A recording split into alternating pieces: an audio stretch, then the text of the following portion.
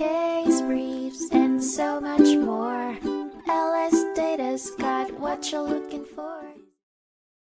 In a 2000 court case that set a precedent, the United States Court of Appeals for the Eighth Circuit deliberated on the legitimacy of using prior convictions as evidence in current cases.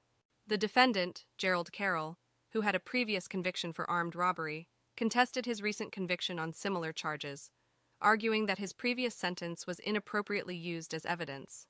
Carroll's defense gripped the court's attention. He claimed that the use of this prior conviction as evidence was not only invalid but also misunderstood. The case brought to light a significant principle.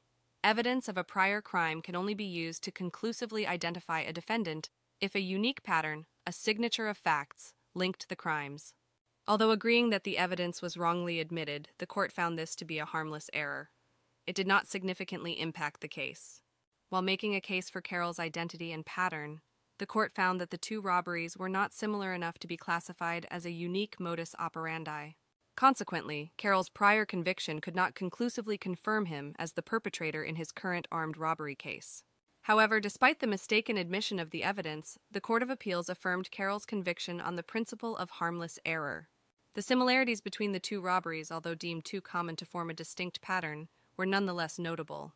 As a result, Carroll's sentence of life imprisonment, coupled with an additional 20 years, was upheld.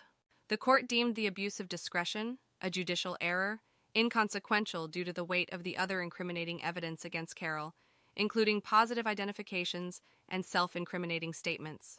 The United States v. Carroll case demonstrated the fine line courts tread when considering past deeds as proof of present guilt. The verdict, despite being underpinned by legal exactitude, undoubtedly exerts a profound influence on not just Carroll's life, but also the broader landscape of law enforcement and judicial decision making, case briefs, and so much more. LS Data's got what you're looking for. Visit lsd.law, elevate your mind. Leave the stress of class.